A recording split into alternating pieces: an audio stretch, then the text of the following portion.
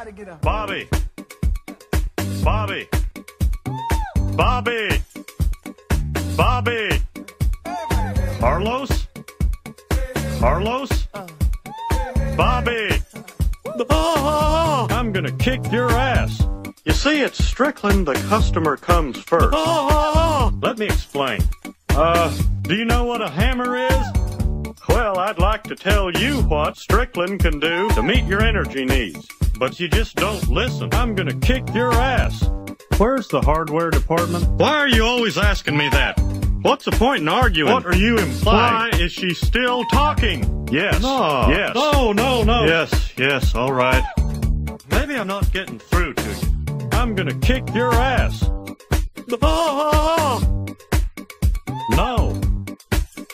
Well, well, I guess. Say what? Stop. Please. I'm gonna kick your ass.